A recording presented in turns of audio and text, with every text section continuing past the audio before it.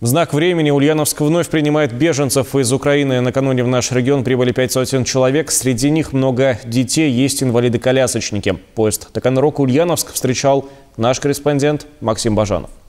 Волонтеры, медики, соцработники и полиция. На станции Ульяновск-3 сегодня непривычно много людей. Все они готовятся встретить поезд из Таганрога. На нем приедут люди, прожившие ад, вынужденные переселенцы из Мариуполя, где сегодня идут ожесточенные бои.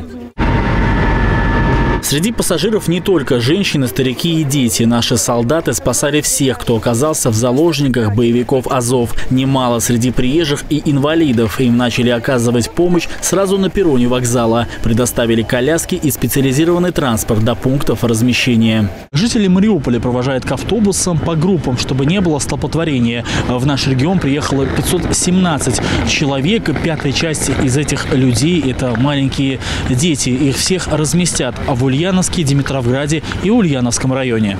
Это в основном гостиницы и санатории. В каждом из пунктов размещения волонтеры подготовили гуманитарную помощь на первое время, предметы личной гигиены и продукты питания. Также, если кому-то потребуется медицинская помощь, на местах круглосуточно дежурят специалисты в деле и соцзащита.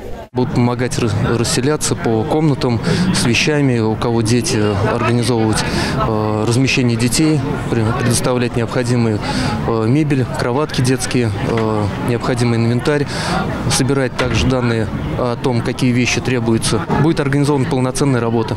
Такая помощь людям необходима. Из Мариуполя бежали без оглядки, без вещей, без документов. Люди просто спасали свои жизни. Вот, например, семья Клименко. По их рассказам, они больше трех недель жили в подвале собственного дома, без воды и еды, не укрывались от взрывов. Их туда согнали.